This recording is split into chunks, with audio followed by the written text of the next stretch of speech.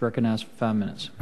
Thank you, Mr. Chairman. Uh, General, I, uh, I've been in the reserve for Army Reserve about 15 years, and I was wondering if you would speak to uh, the reserve component and guard and how important, if at all, joint training is in that context. I know that for me personally, joint is something you learn about when you get deployed to theater.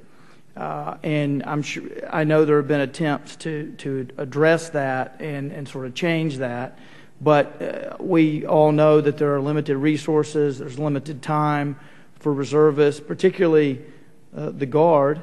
And I wonder if you just comment on that and what y'all are doing to address that in, that context.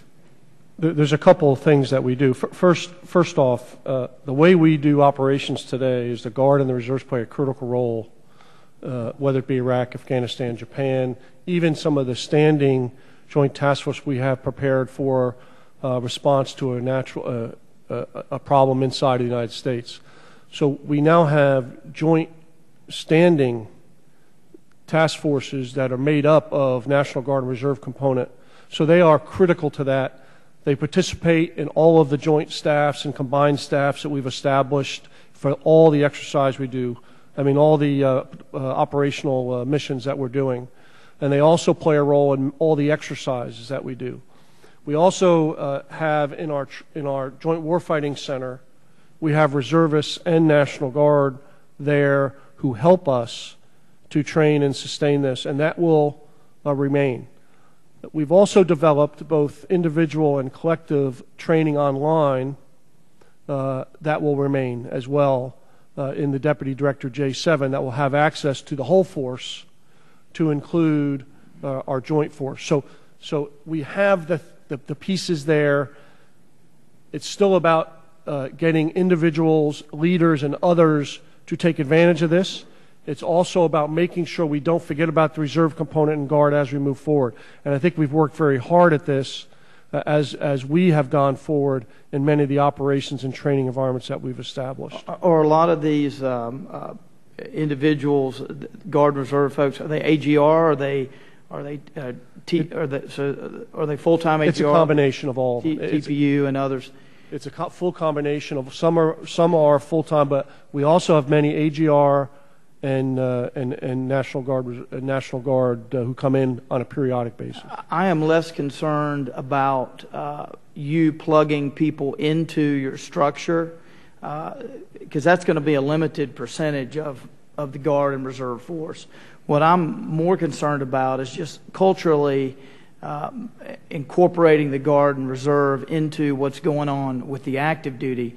Uh, I, know that there are joint exercises occasionally um, but in my real world experience, and I'm, I'm still in a TPU, I'm in the process of, getting out of it because I have to.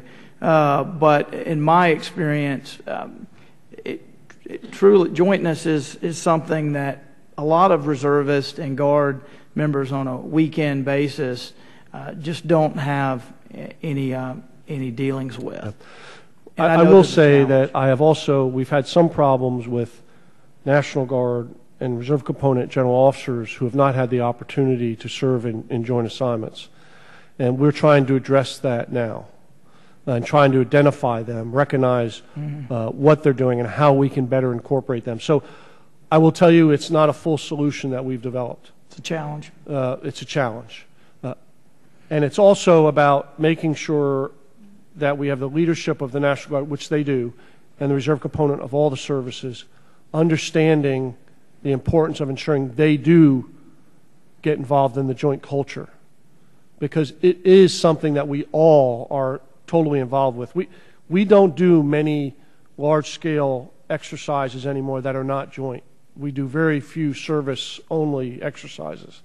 And so it's important that we integrate them because the Guard and reserves are going to be such an important part of our operational capability as we move forward. As we move away from the, the right. strategic concept. That's right. Uh, Admiral, do you have anything to add in my 21 seconds? I have left. Yes, sir. Well, one of our key takeaways is when it comes to employing the Guard and Reserve, uh, we don't want to go back to where we were 10 years ago. And as we're looking to the future, it's how are we going to employ the Guard and Reserve? How can we take those units? How can we train them and employ them, whether they're in exercises, rotational, some rotational capacity? And in order to do that, there's got to be training on the front end of that, and that's where we're going to have to focus that, uh, that joint training. Thank you all. Appreciate it. Thank you, Mr. Chairman.